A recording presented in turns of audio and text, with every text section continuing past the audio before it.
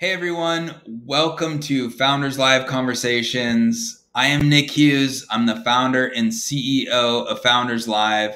And I'm so excited today to have a special guest with us. We have Elizabeth Arnold, who is uh, founder and CEO of Flip App, joining us from Ventura, California. And, you know, this is just an amazing opportunity. We're talking with our global Founders Live Primetime 2023 winner. And Elizabeth, welcome to the show. Yeah, thanks so much for having me. It's good to be to be back here again.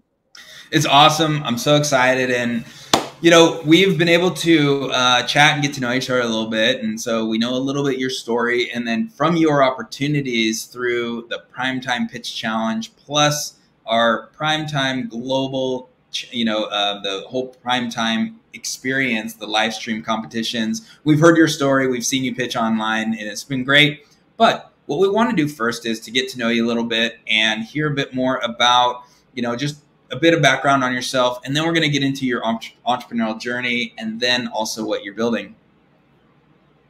Yeah, totally do that. Um, so just a little bit about me. Just kind of want yeah, to generally know about me. All right. Well, um, originally I'm actually from Michigan. I do live in California now. Uh, I kind of split my time between Tahoe and Ventura, so I'm, I'm super lucky to be able to do that. Um, and it works great for Flip because they're both very active communities, which we'll get into later. Um, but yeah, you know, I went to a small college, uh, graduated, I moved to Costa Rica, did a bunch of crazy stuff in Costa Rica, bought and or basically built and sold a hotel, came back to the states and have been in marketing ever since, and and just flip over to Flip. So that's really high level who I am, what I'm working on. Well, awesome, awesome, um, and it's uh, so great to uh, have you a part of you know founders live and hear your story and um, you know and i know that there is an amazing story that you discovered like this issue and problem in this world but before we get to that, I'd really love to hear a little bit more about, you know, look, this is Founders Live. We talk about entrepreneurship, and you're uh, you're a very capable person. You're um, sharp and knowledgeable. Why not just go go work for a corporation, um, get that nice paycheck? But no, you've chosen entrepreneurship, and you've chosen to be a founder, which is not easy. It's literally mm-hmm. self discovery in the moment. Why yeah. choose entrepreneurship? Why start a company? Yeah. Um, talked about this a little bit ourselves, but I think it's kind of like uh, it's like a personality trait. Um, I, I think I, it's definitely not for everyone. It is not super easy. Um, but even in college, you know, I ended up taking this random class in business school, and it was just entrepreneurship. That's it. That's all the class is called. And I was like, I don't even know what that means. And so I just hopped into this class um, and I ended up being part of a team where we created our own uh, computer repair service for the campus. And then we actually ran that um, for a couple of years before we graduated um, and then gave it back to the school. It was kind of part of this whole entrepreneurship program. So it kind of got me into like, well, hey, like you really can build something on your own um, and meet these really cool people that are doing it. And so ever since then, I've kind of had like side companies as well, like a woodworking business and like a yoga travel agency and a hotel in Costa Rica. And so I've always had these small businesses that I've built and sold on the side. And I think it's just part of my personality is like I'm never really just satisfied doing like just one thing. Um, so I've always had these other little businesses going to to keep me honestly learning all the time. It's constant learning journey. I'm always figuring out something new, using yeah. the talents that I currently have to evolve. Um, so it's just this constant constant space I'm in. What do you think is the most maybe beneficial or um, great thing about founders or about entrepreneurship in general? Um, what what does it give to you that maybe a traditional career as an employee wouldn't? Yeah, well, I've done both. I've worked for you know some big companies, um, some big agencies, and some smaller ones as well. Um, but as much as I love the people that I've worked with at those companies, what I get out of entrepreneurship is this like community. Um, and that sounds really cliche, I'm sure, but you really do. Like, there's people I met when I first started this um, that if I had never met them, I would not be where I was. Um, they are entrepreneurs are so willing to help each other out. They're willing to make the connections to listen to you when you've had a really crazy week um, and then they understand what it's like to try and build something and oh hey like i have a developer that would be good for you and just that community is so so beneficial and it's amazing like i've made some of my best friends by being an entrepreneur um, and it's just worked out really well that way for me. So i i love it. Yeah community obviously and, that's you know why we have founders live and you know why mm-hmm. we built this you know uh, in, incredible experience around the world. And um, what would you say last point on really just the entrepreneurial path is um, how would you sum up you know how is it to you most challenging? Being an entrepreneur? Yeah. oh god um, there's so many challenges it's an emotional roller coaster within the same hour you can be just like super high everything's amazing i got this and then 20 minutes later you're like what just happened the world is failing. What am I doing? Oh my God. Um, so I think just the emotional roller coaster can be a lot. It can be very trying. Um, also, I'm a non-tech founder building a tech product. So my personal challenge in my entrepreneur journey is always trying to answer and solve those tech problems without having that knowledge. So I'm, I'm constantly learning and growing in that way too. And it's, it's difficult, but you do, you get the support, which is nice.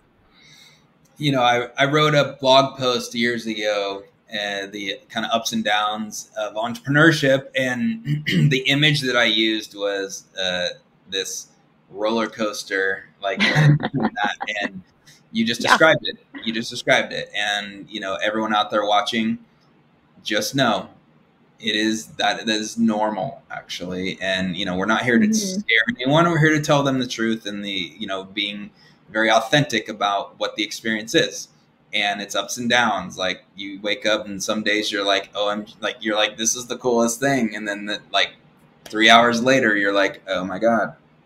and you yeah. have to, be, you got to get used to that. Right. You do. And it's not, you know, you read stuff on, on LinkedIn and on YouTube channels. If you're following companies like Y Combinator and their founder stories, it's all amazing. And you're like, yeah, like I built this product out of grad school and I'm just like, you know, a billionaire now and that's great and that's 100% like exactly where they probably are in their life right now but the day to day they don't go into it's really like it can be emotional um, and it's it's a lot. So it's good to have that network. If you have a co-founder or a business partner like it's great to have them too because they can take some of that load off and they can ride the highs with you and they can ride the lows and it's um it's nice to have that. Awesome. Well, what we want to do is get a little bit of your experience with, you know, the Founders Live uh, primetime the entire competition and and really let, let's start with you know you participated in the primetime pitch challenge that's mm-hmm. really that was your entry into our really our ecosystem and and you know our world so first question is you know why why should any startup founder especially in the early stage choose to engage with the pitch challenge? Like, why do the pitch challenge? And why did you and your co founder choose to jump in to take that pitch challenge? Yeah. So for us, it worked out really well. Um, me and my and my partner, my business partners, like we don't live in the same um, area. One of them doesn't even live in the same state. So it can be really difficult to get together for a live pitch challenge. And so doing something that was online was really appealing. And there's not a ton of opportunities for that that I was coming across, at least during that time. So the pitch challenge from Founders Live was really appealing because we could just submit something online and then be a part of this you know remote way to to get the word out and, and be part of that ecosystem so that was really appealing and at the same time it required a video and if there's one thing that my business partner knows how to do, it's like literally making bomb videos. Um, so she's been great at that. So I was like, hey, all we have to do is make this video and then we submit it and then we just get people to vote for it. Like I like there was no doubt in my mind that we could achieve that goal at least. And so just the barrier to entry for us and the way that our business works um, was really low for Founders Live. And so it was a great way for us to step in and just do that. We have a really big ecosystem on social um, and we, we like making videos. So it worked out really well. Well, you did excellent. I can tell you that. And, you know, for you all watching and just if you're thinking about participating in the pitch challenge and like, hey, is that something first and foremost, you know, what, what they experienced here was, you know, they looked at it and said, oh, this is a, you know, let's take this little challenge. It's going to really benefit us. But also, you have the opportunity to create that video. And the video really is a, a, message that you're putting out. What is our 99 second pitch? If we were going to put a, a, you know something together that encapsulates what we do, allows us to share it to the market and the world, and then there's also a kind of a challenge and a competition around it. Yeah, so that's that that was what you did, and it was awesome. And and so you you both did really well, and I was very impressed with personally like the moment I saw that video that you had created, I was like, this is it. This is great. and it's a good example of uh, being able to put together your message and tell a little quick story and put it out in the world and, and then get people to take action. And, and you did it. So congratulations. Thanks. And it was fun too. Like pitch competitions are usually like, not only are they usually longer than 99 seconds, but the 99 seconds made you really have to curate your story. Like, what's the problem you're solving? How are you solving it? Who are you solving it for? And like, that's it. That's basically all you have time for. So to be able to really hone in with you and your team on like, what are we building is really important. And then just having fun with it. Like, we didn't have to just flip through a pitch deck and be like, this is the problem, this is the solution, this is the product, blah, blah, blah. Like, we got to be interactive with each other. We got to be interactive with the audience that we're we're going for and so we got to have a lot of fun with it um, and you know you can't usually act out your business on stage so doing that in a video was was pretty fun well and that's what we're doing everyone is whether it's a forcing function or not these are the things that if you choose to do this uh, you don't need the pitch challenge. It's nice that we have it. But it is a really good thing for uh, especially early stage companies and startups. It, it kind of helps you feel like there's something more here and you're able to professionally put together that video message and put it out and you know put some storyline to it have some fun. What do we do? Like one of our core values is to have fun right and so all of this is there for you all to take steps forward and really good things come from it really good things and speaking of that you know we would love to hear a bit more of a, your experience you know, pitching and winning Founders Live Primetime in 2023. So you went from the pitch challenge and you won that. That was like essentially a virtual uh, week long, maybe two weeks long pitch, you know, challenge online. And then you won the opportunity to go into primetime, our Founders Live Primetime global competition representing uh, North America. And you were able to uh, walk through that. And by the end, you were the one startup that was remaining that received most votes during the experience just a little bit of your just you know a bit of your experience you know what was it like and then that was a live pitch versus you know the previous pitch challenge was more like a recorded video so those are a bit different so uh, how was the experience and maybe your takeaways from it yeah. So for the original video, like my personal whole goal was like, I was like, we're to get to this mark where I can then sit down and have a chat with Nick because that was like one of the things. If you get enough votes, like you get to chat with Nick. And I was like, dope. Like, I want to talk to this guy. So um, we did that. That was really cool. And when we, we made it through, we had to do the live pitch. Um, and, you know, it was, it was a lot of marketing curation to try and figure out what the timing is so that we could invite everybody that we could across our social networks, our wait lists, you know, the partners that we have, and just get them really interested in attending a live recorded version of us pitching just for 99 seconds. And then basically taking that video and putting it into more like a slide deck and just saying, like, in 99 seconds, this is pretty much summing up the video that we did before. Like, will you vote for us? And so it was a lot of marketing and it was really cool to be able to curate your audience that way. Um, like you don't get a lot of opportunities to just be like, let's do this all together. And so we we really had to rally everybody. Um, and that was really fun. It's a cool opportunity, and it's one of those roller coaster highs where like all of a sudden people start logging on, and you like see these comments start coming through, and you're like, go flip, and you know, go the other teams. And I'm like, oh my god, I was like, there's like a lot of people here. Um, so it was it was actually a lot of fun. Well, good. Yeah. You, you again, you did a great job. And, um, you know, we, we kind of see this. We go from like more of an edited, you know, professionally put together, took some time to put that together video to now we're live. We're, we're on mm-hmm. screen. You're flipping through slides. And, you know, for, for others listening as well, you know, Founders Live, we have physical events literally in cities across the world. And those are, you stand up on stage, there could be, you know 150 200 people in the room and you gotta pitch and you got your 99 second pitch there and you have to stay confident. Um, this was more of uh, in front of screen, but there was hundreds of, you know, there was a lot of people, a lot of people watching at one time online.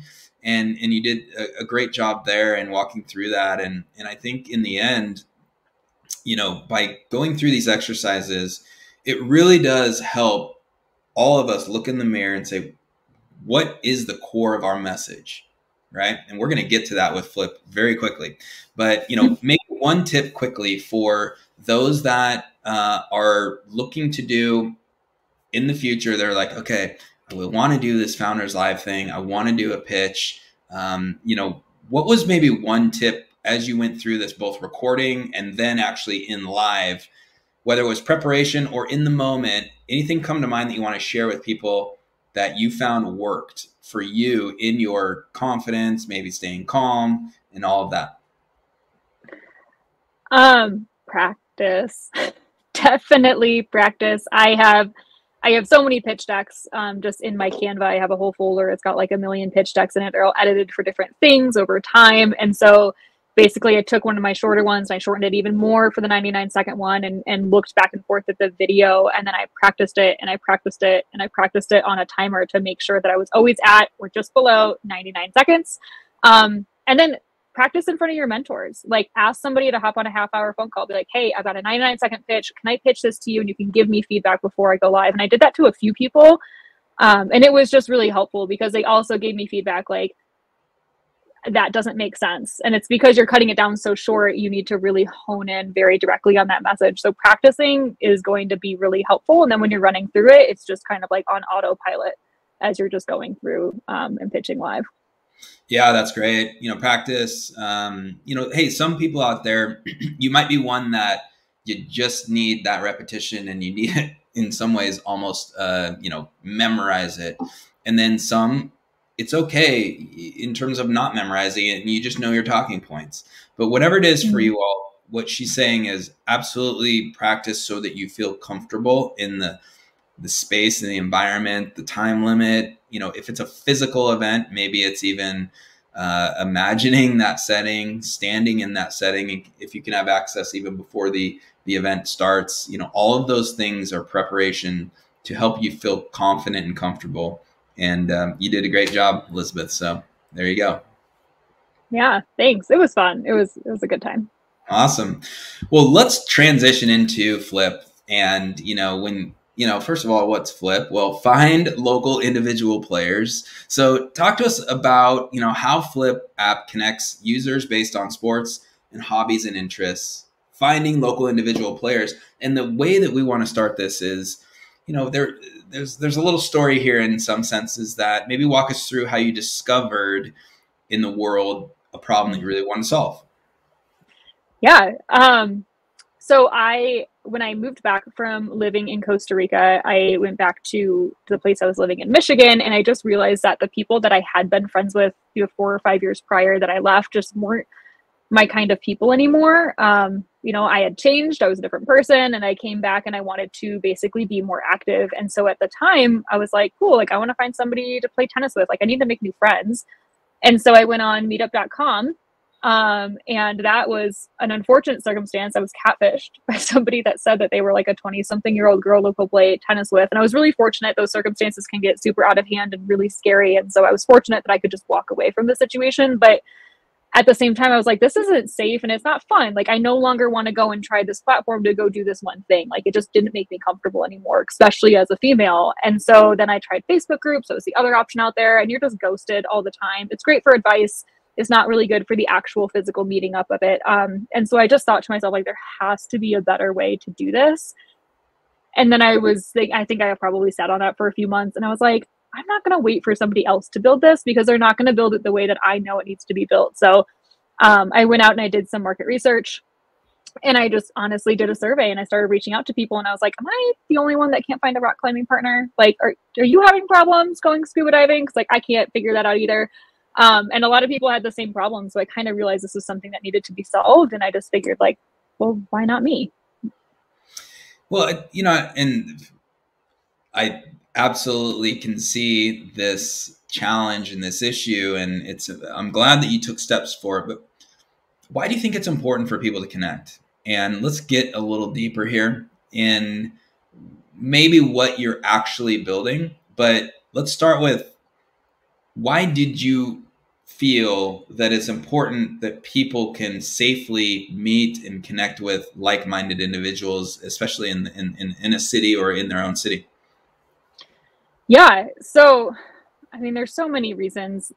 Loneliness is a really big problem, especially right now. It's been one of the main topics kind of of 2023 and, and still coming out of COVID. I feel like some people are still a little shell shocked from from all that had happened. And it's really really hard to connect with people and it's so much easier to sit in front of your tv and like watch netflix rather than go to the climbing gym because you're like oh like my one friend that climbs like just isn't available on tuesday night so like screw it.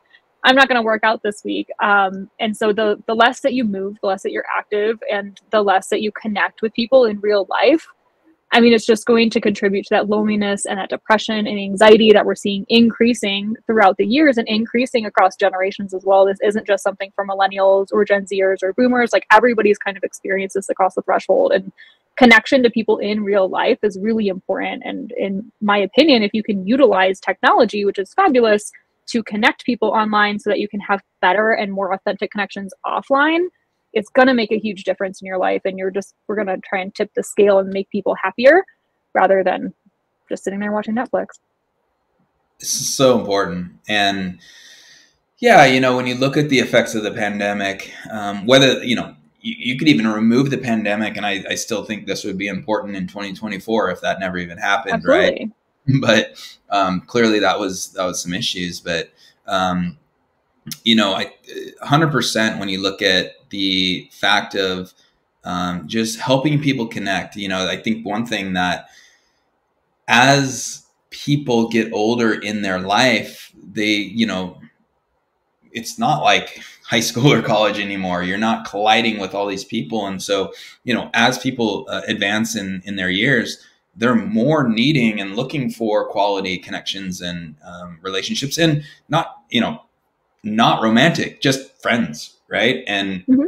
and all that, and then you can you combine that with uh, actual activity, which I really appreciate, is like getting people outside.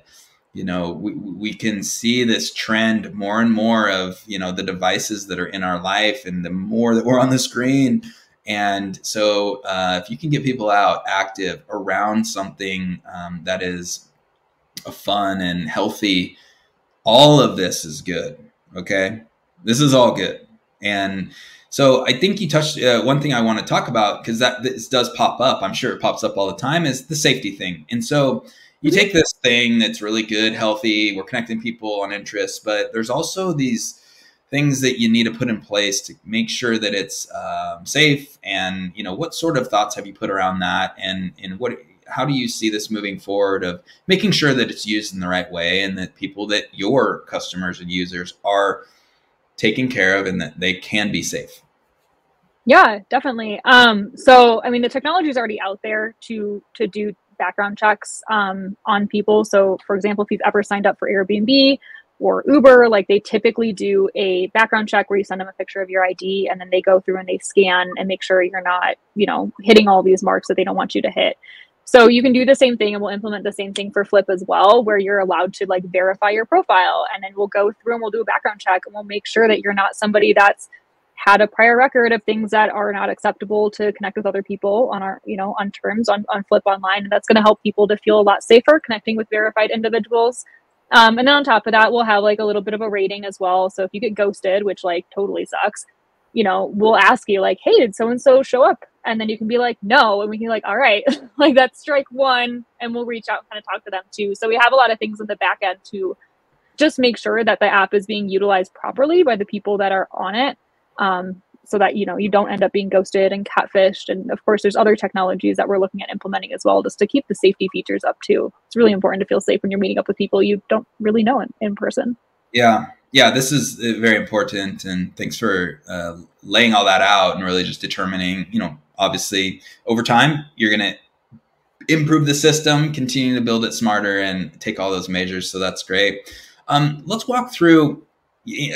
10 year vision. Let's go out there a ways. You know what? You know, we started with like, why is it important to to help people connect? And um, where is this going? Where would you like to take this concept, this brand, and this company over the next five, ten years? Yeah. Um, I mean, you know, Flips Global, it's going to be everywhere. It's going to be the way that you connect with people in your local communities. It's also going to be the way that you connect to like your local health and wellness facilities as well. So we work with businesses um, in your areas, your gyms, your rock climbing centers, your scuba dive centers, etc., um, so that you can connect with them. So you can create communities within these active spaces. You can find accountability buddies. Um, you know, you can get in front of new members at the facility and find somebody to play tennis with, to go rock climbing with. Um, so we plan on being in all of the gyms across the nation. We plan on being the way in which you connect with your coaches and your trainers. Um, we want to have these huge partnerships with some really big brands like Wilson and Nike. Like these are all goals that we can um, accomplish just by getting enough users and enough business on the app. Um, and we want to be the new way that you connect with people. If you're looking to go join a kickball game, you go and flip and you're like, oh, hey, someone needs a sub for a kickball game tonight. I'm going to go play. I'm going to meet some new people. I'm going to get some exercise. I'm going to go home.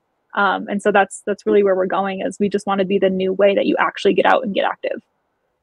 That's really cool. That's really cool. And you know, within this, um, uh, definitely in the pitch, you mentioned around how you interact uh, economically, financially with uh, the health club industry, and even just you know there will be others. But talk to us a little bit about the business model, and then how you see you know economically still benefiting because in general you know, people be like oh you mean two people can go meet outside? Well that means that they're not going to be at the health club um, you know making that health club money.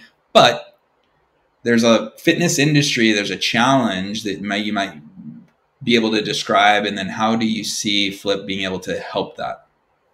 Yeah so there's a couple things. So first like the big problem statement for the fitness industries is they're losing money. They're losing 13.8 billion dollars a year because 50% of their members leave within the first six months. Like i personally have gotten many gym memberships and then didn't show up a month later you know and i probably am still paying those bills and i should definitely look at that. And I'm not there. And a lot of that is because of accountability or community. And it's never about timing. The gyms are open late, they're open on holidays, like, you know, they're doing all these things that they can. And so what we're doing is giving the giving these fitness facilities access to a low cost technology solution that's going to allow them to help retain and engage with their members so they can create these these communities and these accountability buddies within there. So just because, you know, Nick, you and I met up on Flip and we're going to go somewhere in Seattle doesn't mean that we will just automatically go hiking and not use a fitness facility. In fact, we might both belong to the same gym and we can be like, hey, like, do you just want to go on a run or like help me lift weights or go on the treadmill or something like that? Because it's more of that accountability. Like, if I'm going to meet up with my sister to go to the gym and she's like, I'm tired, and be like, great, see you later, girl. Like, I don't care. But if it's someone I don't really know, I'm going to have a much, much harder time flaking out on that person and so you get this accountability buddy, and then you go to the gym and you use their services. You talk to their trainers, you buy their smoothies, you interact with the facility in whatever way that you can, and then you're you're getting more into it. So we're providing all that to the businesses so that they can basically put one billion dollars back into that market's our goal. Yeah, I I really like that, and you know th- this is a challenge. Um, any any way that they can have access to uh, a, another system that um, has data that then also connects with people. And you know you're, you're going to find what that alignment is. I can i can see that. And maybe that's for a further conversation for us as well. But i think that's really interesting. And i i, I really like that you're pointing at this angle to uh, have a strong benefit to the overall health and wellness ecosystem which i think is really really great. Um, as we move on here, uh, would love to hear a bit of your, you know, we're going to talk about lessons learned and advice to founders. And, um, you know, you've, you've gone, you've been going through this for a, a while now. And I'm sure that you've, you know, we could spend three hours talking about this stuff, but, mm-hmm. um, what, let's go with, let's go with two right now that maybe the way to say this is if you could tell this to your earlier founder self. Um, what lessons have you learned up to this point that you would like to share with earlier founders in their path that you're like, geez, I kind of wish someone knocked me on the shoulder and told me this right when I started? Oh man, there's so many lessons. um, so definitely, if you're a non-technical founder building a technical product, um, try really hard to find a technical person that you trust um, to help you work through it. It can be such a slog trying to just go through different development companies um, or competitions and trying to get ahead when you're not a tech founder. Um, definitely try and find somebody you trust. There are uh, question sheets. There's the Y Combinator founder matching platform, and just if there's anybody that you can find that can help you build it, um, really chat with them and get to know them on a personal level as well, um, and set your terms up immediately because it's going to just help solve all future problems. Um, but that would be really, really helpful if someone was like, hey, I know that you want to go with this dev company because they're telling you it's a good price. But if you just waited a couple months and would talk to somebody else, like you might be able to get ahead. And like I've burned so much money on just really horrible development teams um, that I wish somebody had just been like, how about we just pause for a second? Like you feel this need to just rush and get everything done. Um, but in the end, like if you do wait a minute and you ask good questions and you get feedback um, and you you interview a bunch of people, you'll get ahead definitely further. So that's one thing. If you're a non-technical founder, find technical help that you trust. Um, and everything's laid out like step by step exactly what you're going to get for exactly the amount of money or equity you're giving away and what the expectations are. Um, it's going to save you a ton of trouble in the future. Um, other advice? Am I looking for a second one too? Well, let's actually let's stay there. Um, okay. I think that that's a really good thought, and you know, this kind of falls into you know how to build your team, and you know, mm-hmm. um, non-technical founder as well. And you know, I think there's two proof points here that you all that might not be technical, or I'm not a developer, I don't know how to code. You can create things in the world, okay? And and there are uh, amazing tools out there to get started and at least get things moving in the right direction. But then everything that Elizabeth just said, of course, I mean, that I, you know, I think what I would note on that is take your time. You know, I think rushed, mm-hmm. like trying to think that things are going to happen so quickly is um, going to lead to a lot of mistakes that maybe could be prevented. Um, but let's kind of shift to even you know how you chose to build your team. Go off that a bit of piece of advice. So you know you had this idea in individually and then how did you initially go about finding and you mentioned you know you were going down the road of technical teams and stuff but you also have a co-founder and how did you go about just starting that initial team that you now feel confident that as you move forward in this first you know this phase that you're you're going to market with how did you find your co-founders or build your initial team? Yeah so um, initially i had a friend um, that I I had met through other friends as well, and he happened to be a software engineer. And we got to talking, and I was just like, I have this idea. I, like I trust him. I, I know him. I know he's a really good guy. And I was like, would you just be able to like throw some time at this and see like if it's worth it, if it's something you want to do? Um, you know, and he was game. He was really like he was down for the vision. I think that was really important is that we talked about the vision that I had and i was just like this is my like whole this is the problem i'm trying to solve. This is my whole vision. This is the reason like what do you think? Like am i crazy? And he was just like no like i run into that problem all the time.